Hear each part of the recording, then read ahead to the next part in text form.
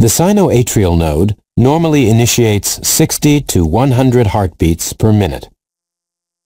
A normal resting heart rate is about 75 beats per minute.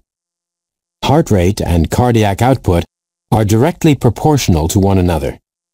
The greater the heart rate, the greater the cardiac output. Heart rate is influenced by such conditions as exercise, stress, blood loss, and tissue damage. More importantly, the autonomic nervous system and hormones play key roles in the regulation of heart rate. A decrease in blood pressure promotes sympathetic stimulation, the release of norepinephrine, and thus an increase in heart rate and cardiac output.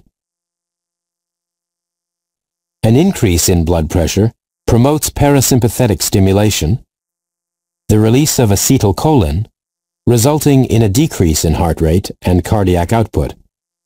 The hormones epinephrine and norepinephrine, secreted from the adrenal gland, as well as thyroxine, accelerate heart rate. Low blood oxygen and pH, as well as high blood carbon dioxide, also trigger an increased heart rate.